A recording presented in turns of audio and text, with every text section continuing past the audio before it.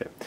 Here with Callie Schapekahm of the UMC volleyball team. Uh, just in our Q&A session, get to know your Golden Eagles this week uh, for the game program. First off, just talk about the adjustment you've made from last season when you kind of played a more limited role, played some matches, but wasn't a real, you know, big role last year. Now you you've thrust yourself kind of into a starting role at the middle hitter position. Talk about just the the changes and obviously playing time and what you think kind of led to that. Yeah, it's been fun. It's been a process and a lot of growth has been made. Um, I think the biggest thing was I just tried to improve on all the little things and that led to where we are today. How have, you know, players like obviously Kelsey, you know, at the middle hitter position as well. How has she helped you really to kind of grow as a as a player and just as a person in general? Yeah, she's a good player and she's very consistent, so that's helped me like learn and she helps me in practice a lot and when I'm struggling, I can always go to her if I have questions.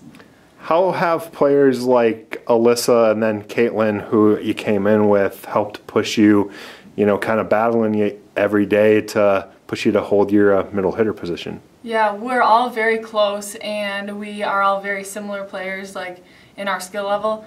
But um, each day in practice, we all just work hard and that helps all of us get better.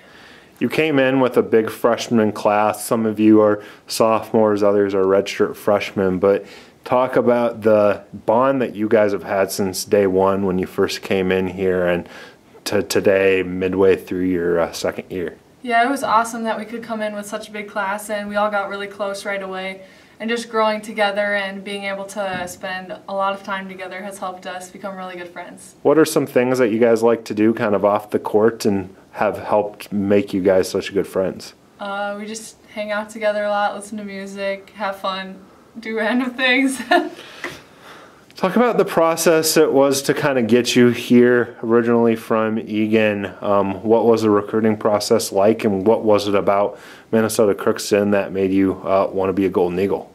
Yeah, I mean, I just um, looked at a couple different schools that I liked and that I was interested in, and then what really stuck out about this one was I really liked the team and the program, and I liked the school a lot, and academics was really important to me you guys, you know, have had a really big last three matches, and they're coming into a crucial part of your schedule with eight matches to go. Just how big is this stretch for you guys, and what are your team goals that you would like to accomplish uh, this season? Yeah, it's been a really good past three matches, especially, and even some before that.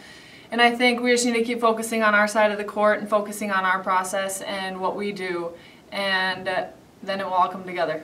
What's the biggest thing in your game that you would like to improve in this these last eight? Matches. Eight matches. Yep.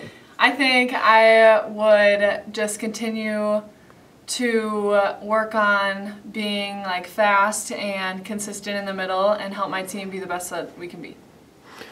What is it that you kind of do to get ready for a match? Is there a type of music or just kind of a pregame ritual that you have? Uh, not really. I mean, I just kind of, I don't really listen to loud music. Like, I just do my whole thing, go you, with it. Do you have a favorite TV show? No, I don't watch much TV. Okay. Favorite music group? Country. Anything in particular? Anyone um, that's right like at the Tim top? McGraw. Okay. Got a favorite song of Tim McGraw's? Uh, no, I like them all. awesome. Thanks, Callie. Thank you.